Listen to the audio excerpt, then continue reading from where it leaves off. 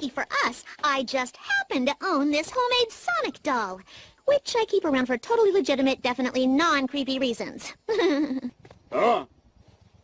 Don't mind me. Just taking this back to my lair for, uh, research.